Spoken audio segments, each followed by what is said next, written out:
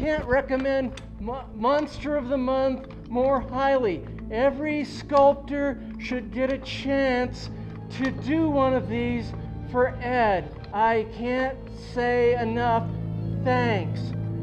Is that it? Oh, okay.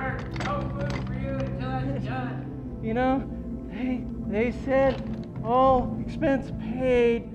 Yeah, they picked up the expenses all right.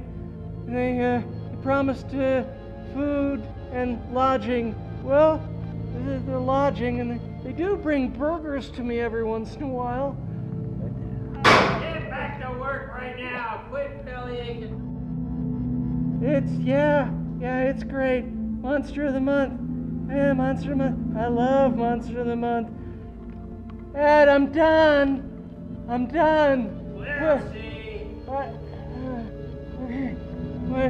what about that texture pad you promised? You'll get it tomorrow. Tomorrow? Uh, okay. Thanks.